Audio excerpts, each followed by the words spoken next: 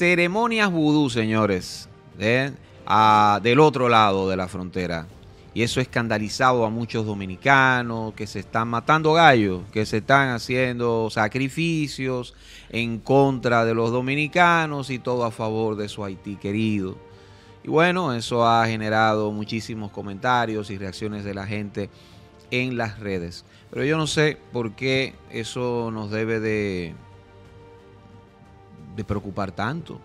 No, si en, República, eso, si en. República Dominicana, aquí vedadamente, más discreto, hay dominicanos inclusive que con haitianos, pues hacen celebraciones, hacen su- sus ritos y yo no veo ningún problema con eso.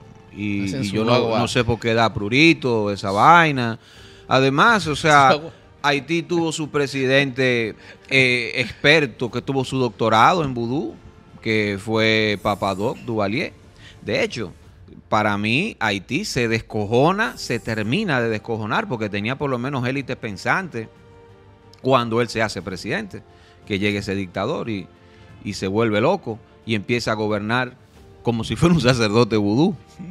Entonces, a mí eso no me, no sé, no sé por qué la gente se, guay, se, se vuelve loca. es que- simplemente, yo, creo que simplemente lo que hacen es validar, validar los prejuicios, porque aquí esa vaina se hace y peor aún, A nivel lo apoyan precisamente- dominicanos. Es precisamente por eso, güey, porque aquí el dominicano, apoyan el dominicano tiene muy creíble eso de la brujería y de que te hacen una vaina Tiene porque activo. quiero que te vaya muy mal, porque me hiciste tal vaina. De hecho, hasta en los matrimonios o en los divorcios, en las infidelidades, aquí el dominicano, no, no, que hale una vaina para que no se tenga más elecciones más nunca. Claro. Y jódete al marido que anda ahí de mujeriego, pues ahora dale tal cosa. Y se cree, el pueblo dominicano en su mayoría cree que con ciertos ritos, que con ciertas agüitas, que con ciertas hierbas, al hombre eh, susodicho de infidelidad, pues nunca más va a tener Ah, una pues, erección. ah, Entonces yo ah, pues- creo ah, pues que ahí somos- viene- pues, pues lo mitolo- pues lo- pues lo- lo- ¿cómo se llama? Lo- los creyentes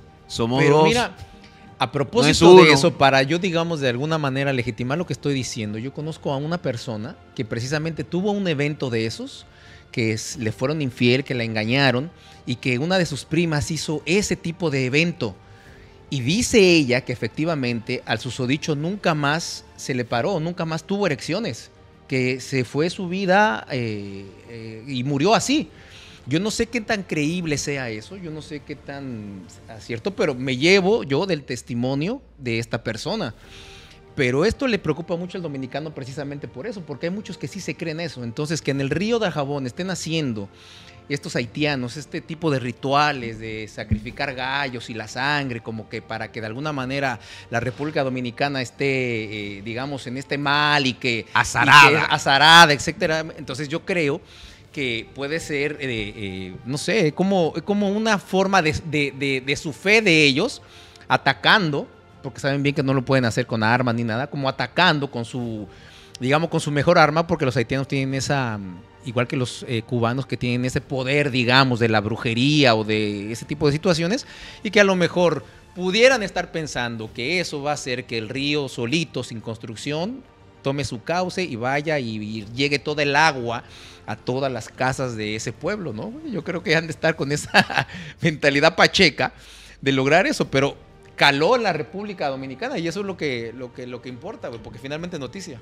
No, hay- no hay ejército, no hay ejército dominicano que pueda contra esa arma que tú dices que tienen los haitianos.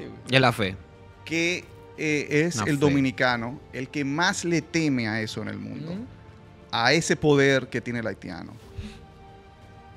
Recuerden que aquí, eh, aquí, o sea, la clase popular, que es la mayoría, cree mucho en ese asunto y cree que nosotros practicamos una magia blanca, pero que los haitianos pra- practican Magia una magia negra Sí. y tienen mucho temor sobre las maldiciones que los haitianos pueden Que puedan Eh, proferir sí, sí. proferir en, en- en- en otra gente. Entonces, en términos tú puedes tener un general, un general, por ejemplo, comandando unas tropas, un general culto, que no cree en eso, que lo ve en su justa medida como mitos, culturas, y que ve este tipo de noticias, a un chamán con un cráneo en, la cabeza haciendo unos conjuros de- para maldecir a las tropas de ese ejército dominicano, el general obviamente quizá Se güey, pueda se reír. va Ahora, pero y, y su y su, su tropa, que generalmente aquí las tropas está están compuestas por personas que no tienen ese nivel Oye, de educación. lo que van a Pero decir es muchos- que pero muchos de bueno, esos, general, muchos, no, de esos, se- muchos de esos tropas No. tienen un tienen un, hilito, una co- vaina de conejo, una vaina de conejo ahí en el en el Sí. en el en el kaki. La- y la mamá, Sí. y la, las mamás y los padres de esos muchachos. Sí, ¿eh? Que temen a eso. Mira, Señores, muchacho, La maldición de los haitianos. sal de allá, Miren, señores, sal de ahí. es como los españoles, la clase popular española, le teme a las maldiciones de los gitanos. Es una vaina que, oye, con un gitano, si el gitano te miró, Sí, te miró, sí. te sí. jodiste. Pero es lo que estaba diciendo al principio, ¿no, güey? Es- No, pero es el- ese- la independización, la, la, la- la- la guerra, la guerra de Haití, o sea, cómo se libera Haití, ¿no? Sí. Se habla de un rito mágico religioso, eh, Bookman, creo que era el líder, y luego de ahí, de ese rito, eh, que le dan con todo, ¿no? Y Claro. se llevan y descabezan a los franceses.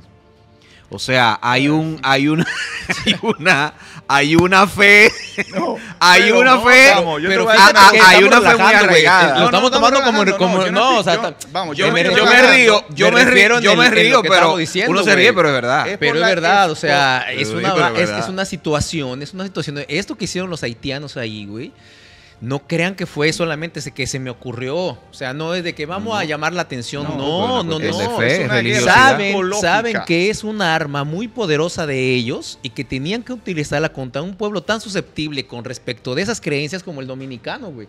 Pero como tú dices, el propio dominicano ha- hace ese tipo de trabajos. Pero claro. Tú aquí vas en diferentes barrios que no, que quiero que fulana, que quiero que se enamore de mí, que quiero. Y entonces están creando ese tipo de energías. Entonces, me parece que eh, eh, va a ser un tema que va a dar mucho que de- dar de- de hablar en esta semana, pero que sí puede ser preocupante para la mayoría del pueblo dominicano, me parece a mí. Tú sabes que finalmente yo recuerdo una.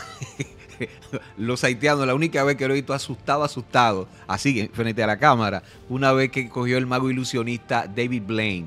Sí, busquen, busquen a David Blaine eh, en Haití. Él fue a Haití y tenía el truco de flotar. Ajá. Y flotaba. Y todo eso haitiano se asustaban y corrían despavoridos. Pero mira, Vino un brujo blanco. deberíamos utilizar eso aquí, el ejército contra Hay que- mago de a. David Blaine. Y los ponemos ahí en el Hay río, güey. Los ponemos ahí en el río. Aflote- aflote- Cuando, David se junten todos los Y- y de- haitianos, y- oye, y pongan- de, y de floten ahí. Copperfield en Bánica. floten ahí, flo- floten ahí para que se vayan, güey. Es de la quinta pata, José Maracayo, el Charro Bachatero y Edwin Cruz. Se pueden suscribirse, darle like, activar campanita y todo eso.